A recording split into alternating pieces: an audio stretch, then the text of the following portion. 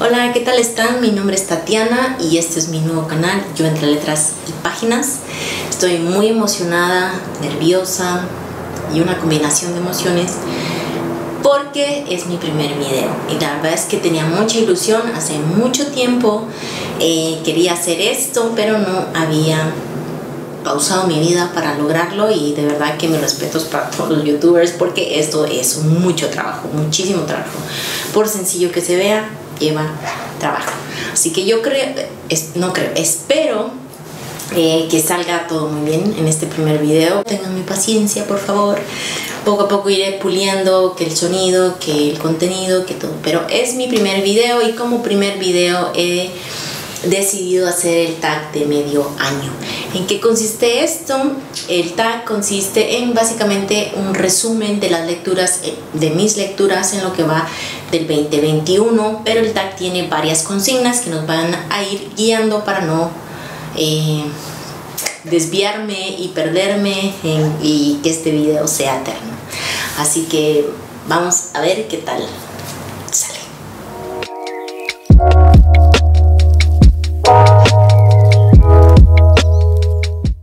consigna dice em, mejor libro de lo que va del año o libro favorito.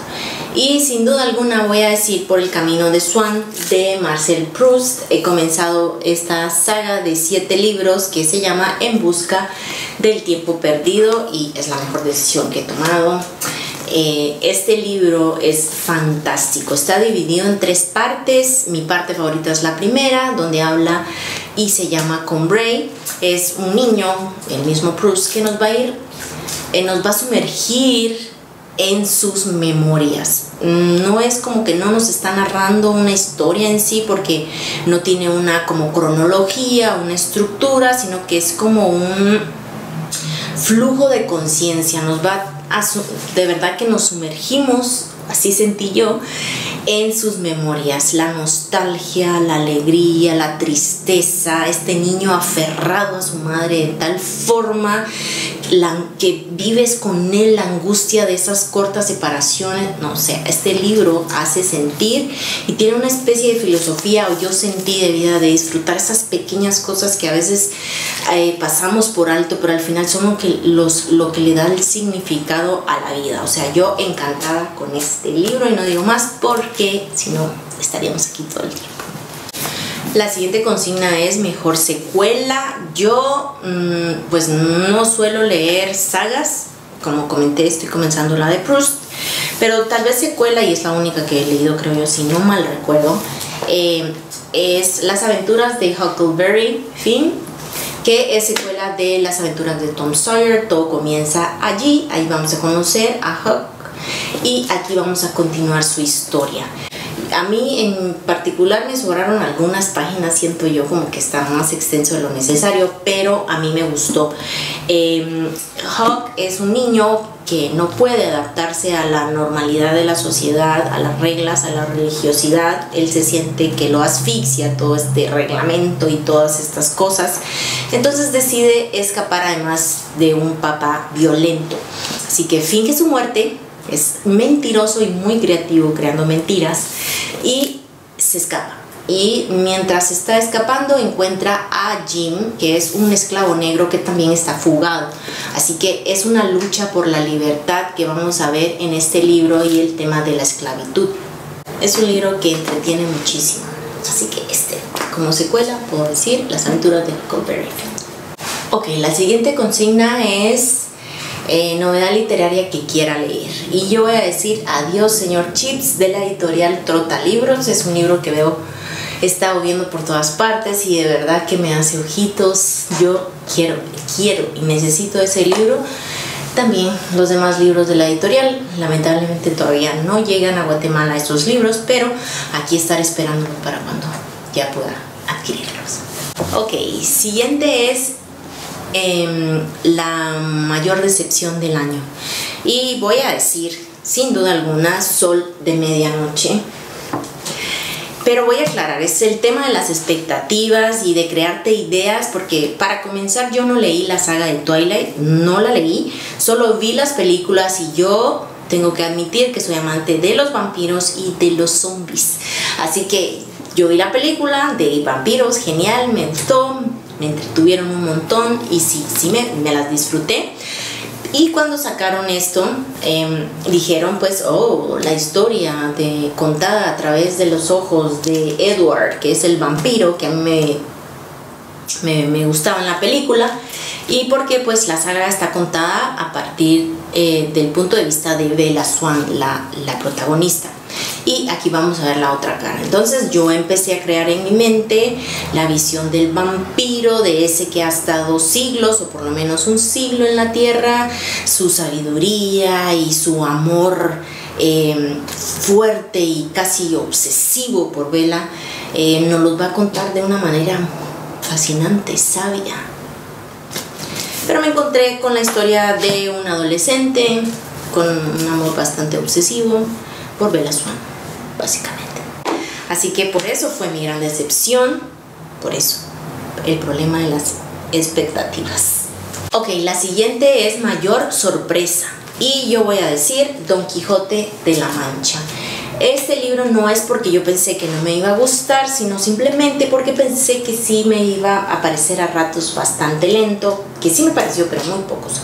Pero no, o sea, eh, me pareció, me encantó el libro, me encantaron los personajes, una primera parte donde está todo el comienzo de la creación del Quijote, la salida a la aventura, el pobre Sancho lidiando con las locuras de Don Quijote, me reí tanto todo lo que viven y en la segunda parte me sorprendió porque yo esperaba un poco más de lo mismo de la primera parte, pero eh, pues Sancho va a adquirir un protagonismo bastante importante y vamos a tener un poquito más de lucidez de Don Quijote. Entonces va a entrar en esas reflexiones eh, o esos análisis de las situaciones más o menos de la sociedad de esa época. La verdad es que me lo disfruté mucho, así que una muy agradable sorpresa. Y lo recomiendo de verdad que es una gran referencia a la literatura universal.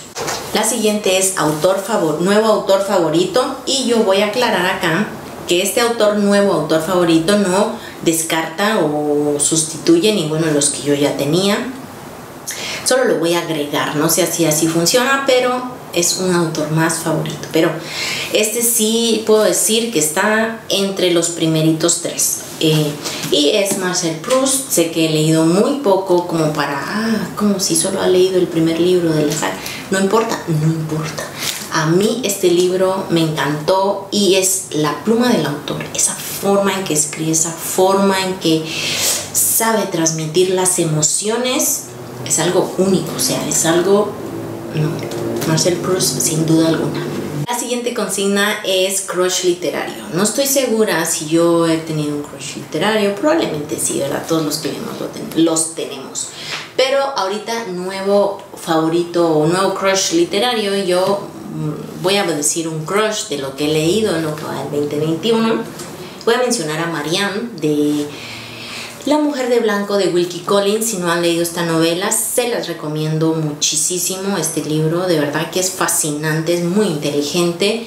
Pero los personajes son la maravilla de este libro. Son increíbles. Y Marianne es una mujer perspicaz, inteligente, estratégica y no se queda con lo que le dicen ella analiza las situaciones, no se deja llevar por lo que los hombres normalmente dicen. Estamos hablando de una época donde la mujer tiene una posición bastante diferente y ella desearía tener los beneficios y de que tienen los hombres para poder actuar, decir y moverse como quiere. Y la verdad es que eso se expresa en todo, a todo lo largo de la novela. Y definitivamente María.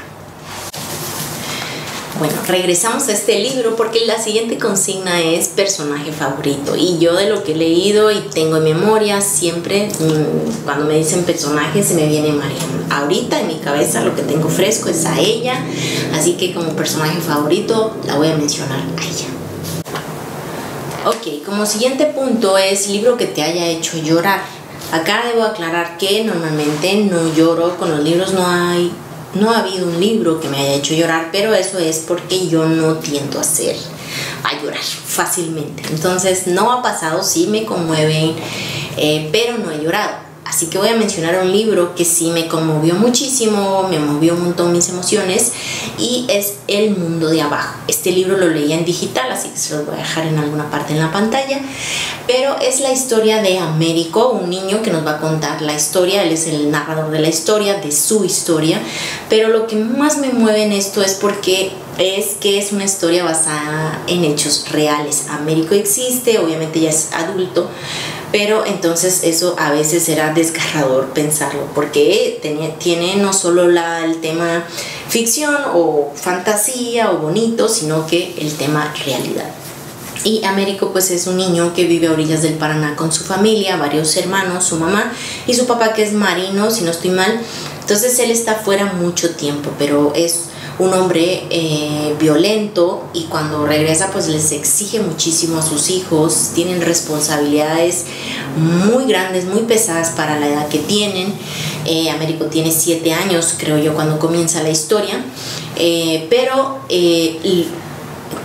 obviamente todo lo que vive este niño y sus hermanos conmueve muchísimo, pero pasan también grandes aventuras, la fantasía y maravilla de ser niño y vivir alrededor de o sea, en las orillas del Paraná, donde pueden ir a pescar, pueden ir a cazar, pueden, hacen travesuras, enormes travesuras y a mí me recordó mucho mi niñez. Yo crecí en un pueblo chiquito donde me encantaba salir a explorar el mundo, a hacer, hacer travesuras constantemente, así que eso lo disfruté muchísimo y a pesar de toda la situación difícil, pues Américo nunca pierde la esperanza.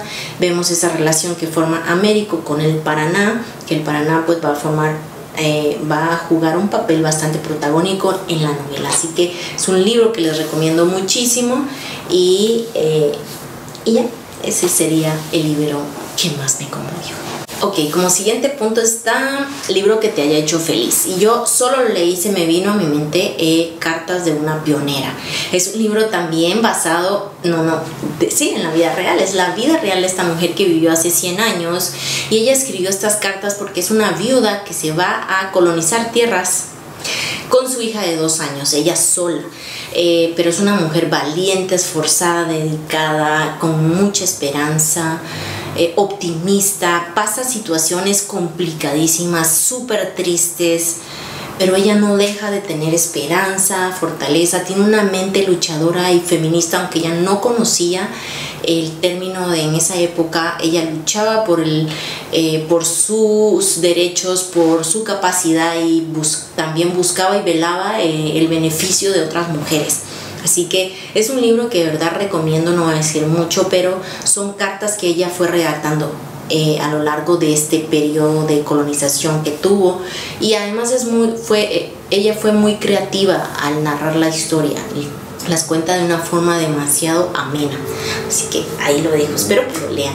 La siguiente consigna es libro más bonito que te hayan regalado o hayas comprado. No sé si bonito en carátula o bonito en historia pero yo me voy a ir por lo superficial, que tenga una carita bonita. Y es un libro que yo me compré el día del libro, es El Hobby, en esta edición tan preciosa que estoy enamorada de ella y está ilustrado. Tiene unas ilustraciones preciosas, preciosas, preciosas. Bueno, en fin, tiene ilustraciones hermosas. Pero este libro tendría que decir yo, sí, es por su y por último tenemos libros que quieras leer antes de que acabe el 2021. Y tengo muchos libros que quiero leer antes del 20, que acabe el 2021, pero voy a decir los esenciales que necesito sí o sí haber leído antes de que concluya el año. Y voy a comenzar con mi pendiente eterno, mi eterno pendiente que sigo poniendo y posponiendo y pausando, y es Ulises de James Joyce. Este libro lo tengo hace muchísimos años, lo he comenzado una y otra vez. Aquí está mi separador donde había dejado la lectura la última vez Em, simplemente lo he pausado una y otra vez, así que este libro tiene que quedarse leído este año sí o sí. Otro libro es La Divina Comedia. Eh, este es un libro que de verdad que le tengo muchísimas ganas, así que creo que en agosto lo voy a leer. Así que este sería el siguiente. El siguiente sería La Regenta.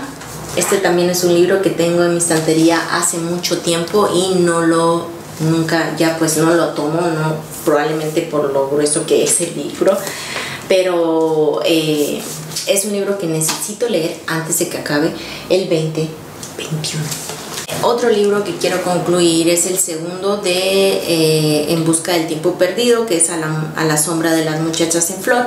Ese ya lo comencé, voy avanzada, pero eh, pues ese lo quiero concluir. También quiero leer Crimen y Castigo y ya no voy a decir más porque tengo muchos, pero esos en esencia son los que quiero terminar. Y aquí acaba el tag de medio año. Espero que pues se hayan entretenido, no me haya alargado mucho, pero eso ha sido todo por hoy. Espero que este video salga bien. Emocionada que ya es mi primer video. Finalmente lo grabé y lo tiré al mundo. Y pues espero poder darles videos, el próximo video muy pronto.